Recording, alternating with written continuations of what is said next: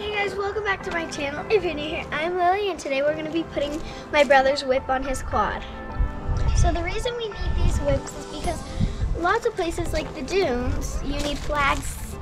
Just my dad thinks it's safer to have flags because you can see people better in the dark.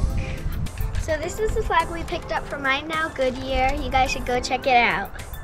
So the first thing we have to do is take this nut off. And then we gotta take the washers off.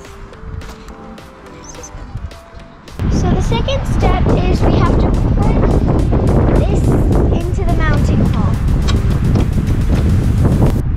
So now we get to put the nut on. And the final step is we're gonna tighten this up.